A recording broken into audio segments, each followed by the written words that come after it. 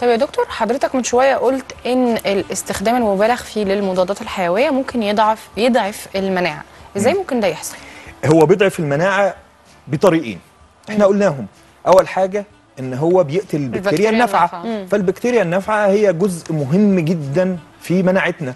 فقتله للبكتيريا النافعة طبعا ده بيعمل بيسبب نزيف في الأنف عشان البكتيريا النافعة هامة في تكوين فيتامين كاف اللي بيحمينا من نزيف الأنف. غير كده كمان إن هو بيسبب هجوم الفطريات اللي إحنا بنقول عليه هجوم انتهازي للفطريات.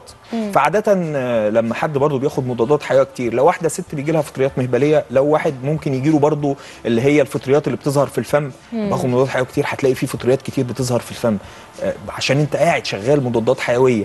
آه، برضه كرات الدم البيضاء بتقل.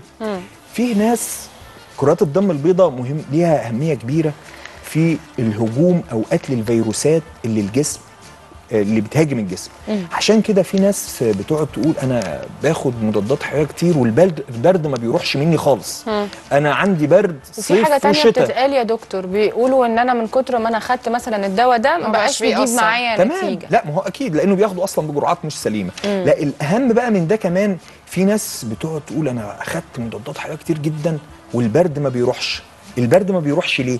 عشان إحنا ال- البرد إحنا قلنا فيروسي. إيه المسؤول عن قتل الفيروسات دي؟ كريات الدم البيضاء.